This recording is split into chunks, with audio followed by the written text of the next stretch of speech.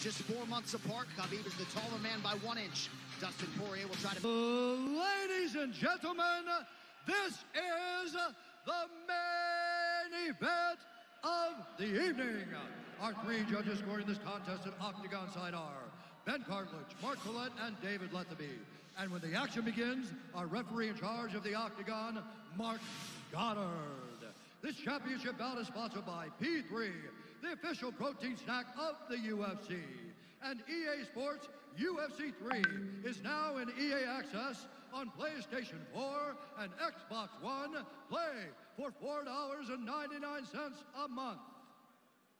And now, for those in attendance and UFC fans watching around the world, this is the moment you've all been waiting for. Live from the sold out arena in Yas Island, Abu Dhabi. It's time! For the undisputed UFC Lightweight Championship of the World. Introducing first, fighting out of the blue corner, a Thug-Jitsu fighter holding a professional record. 25 wins, 5 losses, 1 no contest. He stands 5 feet 9 inches tall, weighing in at 155 pounds. Fighting out of Coconut Creek, Florida, by way of Lafayette, Louisiana, USA, presenting the interim UFC lightweight champion of the world, Dustin Diamond Poirier.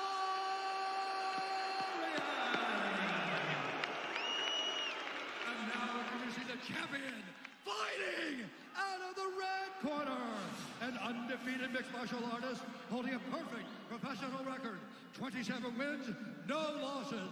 He stands 5 feet 10 inches tall, weighing in at 155 pounds.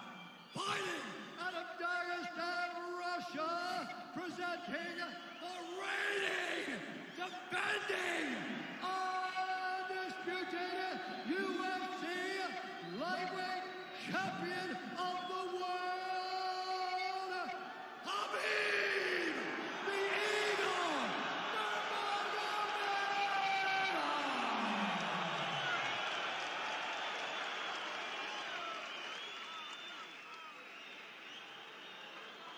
Nurmagomedov. Dustin, Khabib, you know exactly what I expect. I want you to fight hard and use you to fight clean. When I say stop, you stop. If you want to touch, now's the time. God bless. A lot of mutual respect between these two combatants. The only thing Khabib really took issue with was some of the promotion that was champion versus champion. He says, I am the champion. He is the interim champ.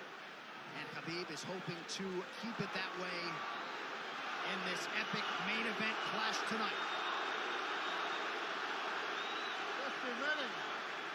Khabib, Khabib, ready? Right. And with that, we are underway. Khabib Nurmagomedov in the black and gold. Dustin Poirier is in the blue with gold.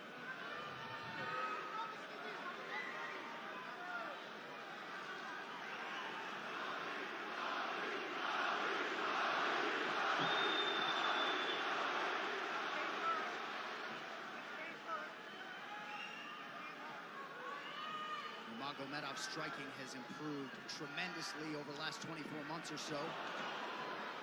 Had that knockdown against Conor McGregor, but in talking to Javier Mendez, they really feel like he's taken it to the next level. That being said, doesn't figure to lean on it too much tonight.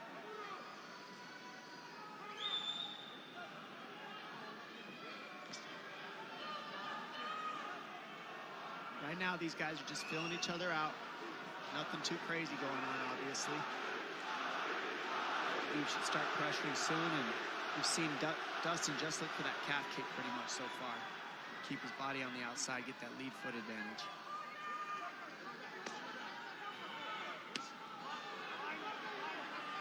Back-to-back fights against southpaw strikers for Khabib Nurmagomedov.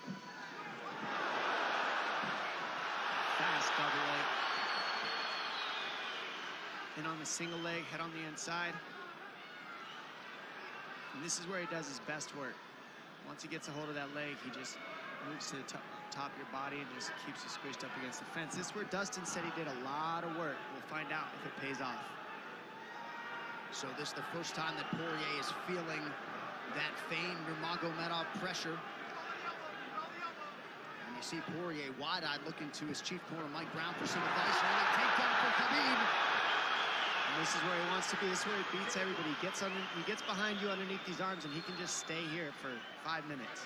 It's hard to get him off you in this position. He beat your legs up with the knees, and then just make you carry his weight so you got nothing in you after. Outstanding control by Nurmagomedov. Now transitions to the back of Dustin Poirier. Couple hooks in.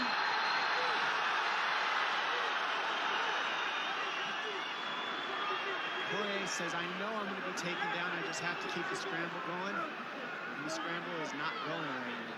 It's tough. Poirier got raked across the eye there a little bit by Nurmagomedov. Now working on a little bit of a neck crank, not under the chin. And it hurts, but it doesn't choke. It just makes things miserable. And that's what Khabib does so well is he just makes things miserable for you. It Hangs on your hands, beats you up, cranks your neck, keeps the pressure, makes you carry his weight. That's what we're seeing here. Poirier getting advice. Magomedov just covering the face and looking him on. Less than two minutes to go in the round. You see Nurmagomedov wisely trying to upset the breathing pattern of Poirier. Poirier, Brazilian Jiu-Jitsu black belt, trying to turn into the choke here, Dom. Yeah, he can't. It's not a choke. It's just nasty. It's just nasty. He makes it real nasty on you, Khabib. And that's what's happening right now. And see how he stays in that position no matter what, underneath both arms. And that's just not a fun position to be in if you're Poirier. Good job switching it around by him. So Dustin back to his feet, lands in knee to the body of Nurmagomedov. But no separation for Poirier, which could prove problematic. Well, he keeps getting behind his arms like that, and that's going to be an issue. And you see how he trips him. That's one of Khabib's best weapons is he trips you while he's taking you down over and over. And it's he's attacking your legs with the foot sweeps Yeah. while he's attacking your upper body, and that's a big difference. Right, the simultaneous attacks, the subtleties, the nuances. And notice his head is always higher than his opponent, and that makes you carry his weight as well. There's the trips. Those are what make the difference, is that he trips you while he's clinching you. A lot of guys aren't using that at the same time. Still behind the arms. Khabib three for four on his takedown attempts thus far. Nice switch, but it's not enough because he keeps the hands locked. And, you know, in wrestling, traditional wrestling, it's illegal to keep your hands locked. In a fight, that's, what, that's why it's illegal in a wrestling match. It's hard to get away. Already north of three minutes of control time from Nurmagomedov. Poirier has really been put on the defensive early in this fight. Some nice ground strikes now from the champion. Oh, big elbow from Khabib. Poirier forced to squirm out. Nurmagomedov at his mauling best. Leg when you switch.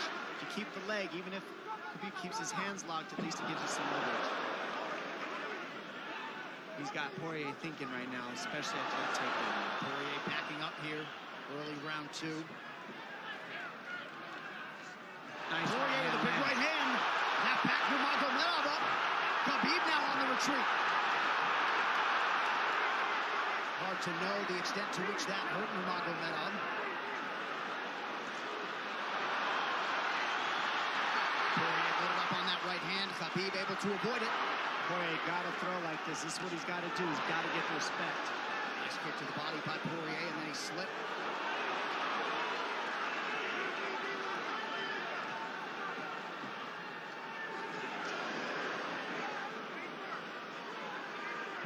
To the body there. Khabib counters to the inside of that lead leg of Poirier. Up against the fence. The speed on that double leg is just incredible. And that's a real difference in anything that people feel is, is how fast he can shoot. What an atmosphere in this arena with every strike that's thrown, takedown that's secured. Incredible.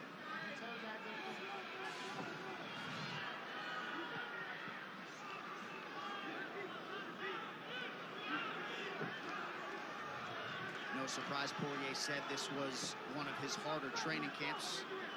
Doing this every day for five, ten rounds. And right here, just in this position, you see Khabib just waiting because he's making Poirier carry all his weight, and it's just so tiring the way he hooks the leg and keeps your head. It takes so much energy to get up from these positions, and that's that's what Khabib does well. And now he's got his legs hooked while he's controlling the hands. Poirier scooting to the fence, but yeah, I mean, you see that leg control by Nurmagomedov. And that's what I see the biggest difference